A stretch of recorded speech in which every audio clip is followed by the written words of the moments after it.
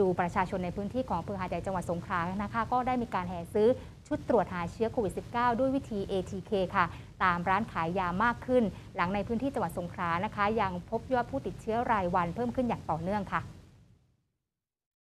จากสถานการณ์การแพร่ระบาดของโรคโควิด -19 สายพันธุ์โอมิครอนนะคะ ที่ส่งผลให้ยอดผู้ติดเชื้อรายวันเพิ่มขึ้นอย่างรวดเร็วนั้น ประชาชนในพื้นที่ของอำเภอหัดใหญ่ ส่วนใหญ่ตื่นตัวและมีความกังวล ต้องการชุดตรวจ ATK เพื่อหาเชื้อเพื่อตรวจหาเชื้อด้วยตัวเองกันมากขึ้นทำให้บรรยากาศนะคะ ในการจำหน่ายชุดตรวจ ATK ที่ร้านขายยาอิ่มอุดมเขตเทศบาลนครหัดใหญ่ ต่างมีประชาชนเดินทางมาหาซื้อกันอย่างต่อเนื่อง ทั้งกลุ่มสัมผัสเสี่ยงสูง ที่พบคนใกล้ตัวติดเชื้อ และกลุ่มประชาชนที่กลับจากต่างจังหวัด รวมทั้งผู้ปกครองที่มีนักเรียนอยู่ในช่วงของการเปิดภาคเรียนค่ะเภสัชกรร้านขายยาอิ่มอุดมเปิดเผยครับว่าภายหลังจากที่จังหวัดสงขลาพบผู้ติดเชื้อรายวันเพิ่มสูงขึ้น และมีการแพร่กระจายสู่ชุมชนอย่างรวดเร็ว ก็ทำให้ประชาชนหลายกลุ่ม กลายเป็นกลุ่มเสี่ยงสัมผัส ก็เลือกที่จะเดินทางมาหาซื้อชุดตรวจ ATK กันมากขึ้น โดยทางร้านมีให้เลือกหลายรูปแบบด้วยกัน มีหลายยี่ห้อครับ ทั้งการตรวจหาเชื้อจากเยื่อบุโพรงจมูกด้านหน้า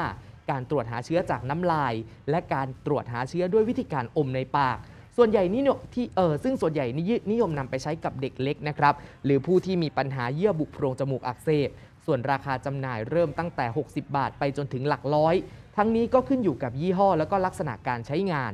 ด้านประชาชนที่เดินทางมาซื้อชุดตรวจ ATK กล่าวว่า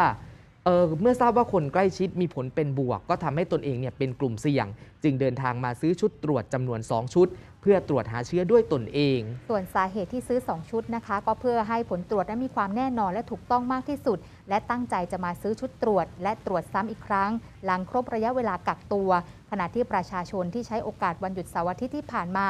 ไปท่องเที่ยวกับครอบครัว ก็มาหาซื้อชุดตรวจ ATK เพื่อนำไปตรวจหาเชื้อด้วยตนเอง เช่นเดียวกัน ยิ่งมีเด็กเล็กด้วย จึงตั้งใจที่จะหมั่นตรวจหาเชื้อบ่อยๆนะคะ เพื่อความปลอดภัยของคนในครอบครัวค่ะ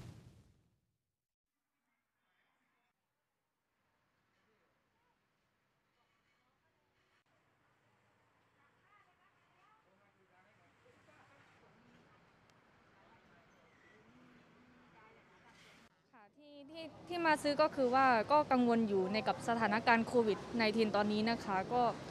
ในเมื่อว่าหนูก็ไปเจอกับผู้ติดเชื้อมาโดยตรงด้วยก็เลยแบบเลือกที่จะมาซื้อแล้วก็ไปตรวจด้วยตัวเอง อันนี้ค่ะ เพราะว่าเราเพื่อความสบายใจด้วย แล้วก็แบบเหมือนเราจะไม่แน่ใจหรือว่ายังไงเนี่ยเราก็แบบเอามาตรวจได้เสมอ ก็คือถ้าเกิดเรา